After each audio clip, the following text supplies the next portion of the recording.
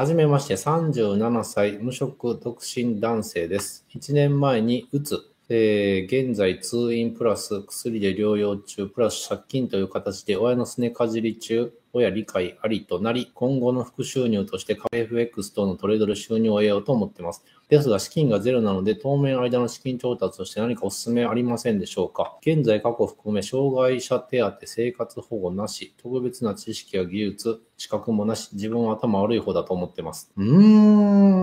まずその今後の副収入っていうことは、他にその主な収入というのはあるということですかね？副収入っていうのはそういうことですかね？まあ、まずその資金がゼロっていうことは、まあ、資金貯めなきゃいけないんですけど、まあ本当50万とかあったら全然いいと思うんで、最初は。なので50万円をその働いて頑張って貯めるっていうところからじゃないですかね。資金調達、もう働くしかないんじゃないですかね。そもそもその最初からうまくいく可能性の方が少ないと思うので、人からお金借りたり、なんか、ってやって、その株やっても、どうせ最初に負けたらそれでもうゲームオーバーになって借金だけ残っちゃうんで、何かしらまずその株でとか FX とかで安定的かつたくさん収入が得れるようになるまでの勉強期間っていうのは何かしら生活費何なりでお金いりますから、まずきちんと50万円ぐらいだったらちゃんと1年で貯めれるような環境にまず身を置かないと株をやっても FX やっても意味ないんじゃないでしょうか。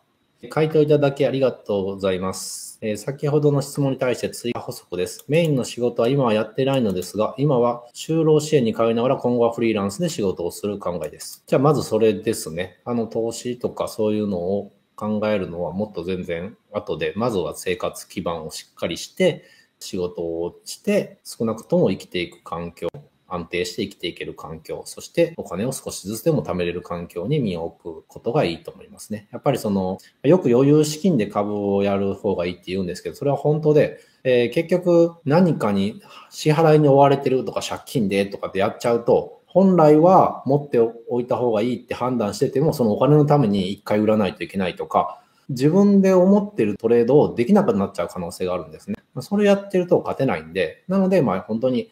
精神的にも大事なのは余裕資金であるっていうのはとても大事なことだと思います。はい。